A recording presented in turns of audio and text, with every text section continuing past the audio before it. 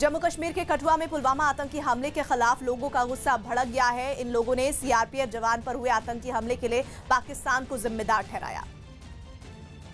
और कठुआ शहर के एक चौराहे पर इकट्ठा होकर पाकिस्तान के खिलाफ प्रदर्शन कर दिया। जवानों की शहादत से भड़के इन लोगों ने पाकिस्तान से बदले की मांग की। हाथों में तिरंगा लहराते हुए प्रदर्शन कर रहे लोग धरने पर बैठ गए और सड़क को जाम कर दिया।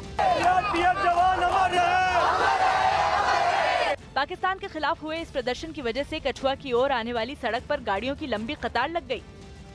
हालाँकि जाम में फंसने के बावजूद लोग पाकिस्तान के खिलाफ हो रहे इस प्रदर्शन का समर्थन करते दिखे और वहाँ मौजूद सुरक्षा बल के जवानों ने भी, भी लोगों को हटाने की कोशिश नहीं की। जिसके बाद प्रदर्शन कर रहे लोगों ने सेना के समर्थन में नारेबाजी शुरू कर दी और वहाँ देशभक्ति के नारे भी गूंजने लगे। प्रदर्शन में शामिल लोगों ने पुलवामा आतंकी हमले के लिए पाकिस्तान को करारा सबक सिखाए जाने की मांग की। बच्चा बच्चा आज सिर्फ़ ये गुहार लगा रहा है सरकार से कि कड़ा अत्याचार पाकिस्तान पे किया जाए ताकि आने वाले समय में ऐसी हरकत कभी दोबारा ना हो। यही नहीं कुछ लोगों ने तो पाकिस्तान के खिलाफ एक और सर्जिकल स्ट्राइक को ज़रूरी बता दिया। भारत सरकार से ये अपील है कि एक बड़ी की सर्जिकल स्ट्राइक की जाए और पाकिस्तान का नामो निशान नक्शे से दुनिया के नक्शे से मिटा दिया जाए। पुलवामा में आतंकी हमले के बाद प्रधानमंत्री ने पाकिस्तानी आतंकवादियों को उनके किए की सजा भुगतने की चेतावनी दे दी। प्रधानमंत्री ने देश की जनता से ये वादा किया है कि शहीदों की कुर्बानी जाया नहीं जाएगी।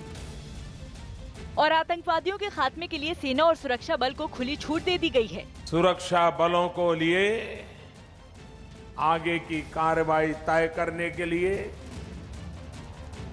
समय क्या हो स्थान क्या हो स्वरूप क्या हो? वो सारे फैसले करने के लिए इजाज़त दे दी गई है। पीएम ने इशारों में ये भी साफ़ कर दिया कि पाकिस्तान से इस कायराना हरकत का चुन चुन कर बदला लिया जाएगा। मैं आतंकी संगठनों को और उनके सरपरस्तों को कहना चाहता हूँ कि वे बहुत बड़ी गलती कर चुके हैं। बहुत बड़ी कीमत उनको चुकानी पड़ेगी। पुलवामा हमले के बाद पाकिस्तान के खिलाफ देश में ज़बरदस्त गुस्सा है। और प्रधानमंत्री के भाषण में भी उसकी झलक दिखी। उन्होंने पाकिस्तान को आतंकवादियों को पनाह देने के लिए आड़े हाथों लिया। और आर्थिक मदद के लिए दर दर भटक रहे पाकिस्तान की खिल्ली उड़ाई। उसके लिए अपना रोज़मर्रा का खर्चा तक चलाना मुश्किल हो गया है। वो कटोरा लेकर के घूम रहा है। लेकिन आज दुनिया दुनिया से वो आसानी से मदद भी नहीं मिल पा रही है। साथ ही प्रधानमंत्री ने दंगे की चोट पर यह दावा किया कि भारत के खिलाफ पाकिस्तान की हर साजिश नाकाम होगी। पूरे विश्व में अलग थलग पड़ चुका हमारा पड़ोसी देश। अगर ये समझता है कि जिस तरह के कृत्य वो कर रहा है, जिस तरह की साजिश रच रहा है, उससे भारत में अस्थिरता पैदा करने में सफल हो जाएगा तो वो ख्वाब हमेशा हमेशा के लिए छोड़ दे। वो कभी ये नहीं कर पाएगा और न कभी ये होने वाला है।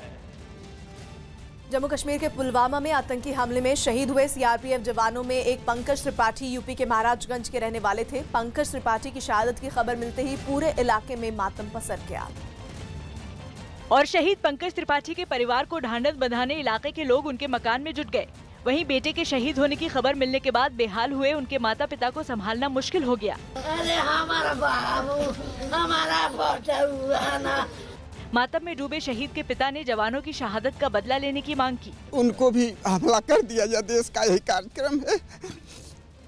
उनका भी उनको भी बलिदान कर दिया जाए। हमारे वहाँ की सेना बलिदान हो चुकी उसी तरह से वह लोग भी बलिदान कर दिए जाए। शहीद पंकज त्रिपाठी के छोटे भाई ने भी पाकिस्तान को सबक सिखाने की बात कही।